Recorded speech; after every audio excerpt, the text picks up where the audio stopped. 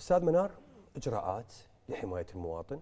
بالكامل شنو اعتراضاتكم كأصحاب محلات ومولات وإلى آخره؟ لا ماكو اعتراضات. إحنا بالعكس إحنا آه، الصحة صحة المواطن قبل كل شيء قبل الاقتصاد وقبل أي شيء. ولكن هل فعليا هاي الإجراءات سؤالنا دائما مثل ما سألنا وما لقينا عليه اجابه ونرجع نقول هل هي فعليا هذه الإجراءات اللي جانب كبير من عندها هو جانب اقتصادي حيحد من آثار ال ال انتشار المرض لا سامح الله. يعني هل اليوم إحنا نقول إنه ينتشر فقط في الأماكن المغلقة هل معنى ذلك إنه هو أقل انتشارا في الأماكن المفتوحه اللي حتصير بها تجمعات؟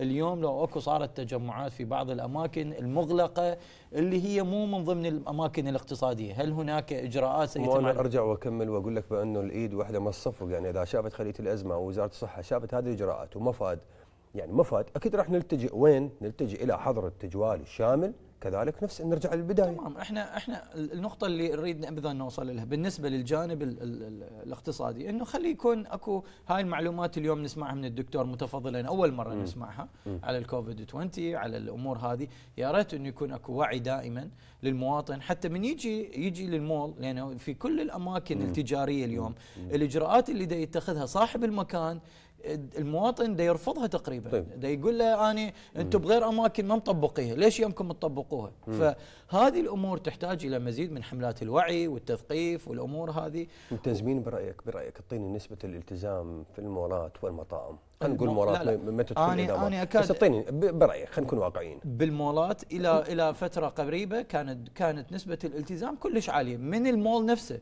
يعني من المول من كانت عليه رقابات. طيب المطاعم. المطاعم لا أكيد أقل.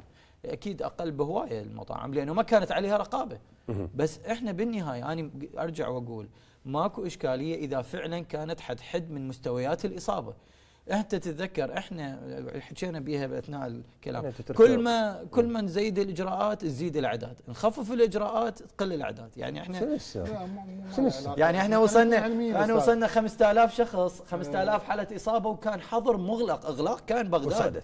وسدت. انفتحت نزلت الأعداد. طيب أنا التساؤلات كثيرة مثل ما تحدث بها أستاذ منار. يعني أتمنى تجيب أو تجيب عن الاستاذ منار. عن هذه التساؤلات تحدث بها. نعم. إحنا صراحة أنا كطبيب بغض النظر عن يعني في وزارة الصحة ولا كطبيب عندي آه، أمور في وباء أحتاجها من المواطن اللي هي تباعد المسافه بين شخص وشخص نعم. لبس الكمامة إجراءات التعقيم ذني الشغلات اللي يحتاجها من كل مواطن أو كل مؤسسة تطبق لي ما عنده مشكلة خلي براحته إذا إذا التزموا بذني الشغلات خلي مطاعم خلي مولات خلي لكن اللي قاعد نشوف مع عدم التزام من قبل المواطن العراقي المواطن العراقي اليوم يمكن لا تكتب بالفيسبوك. والله من من شخصيات يمكن يعني اعتز بهم واحترمهم يقول لي دكتور قاعد تكذب علينا. يعني نعم. وين وباكو. نعم. يعني هذا ماكو هذا هذا ماكو ثقة بالكوادر هذا يعني لا مو قضية ماكو ثقة اللي, اللي يقرأ الشارع. م. انت من اتحدث لك هسه عن مرض معين واقول لك فلان شيء فلان شيء فلان شيء يمكن ما تصدقني لأنه بعيد تماما عن الوسط الطبي.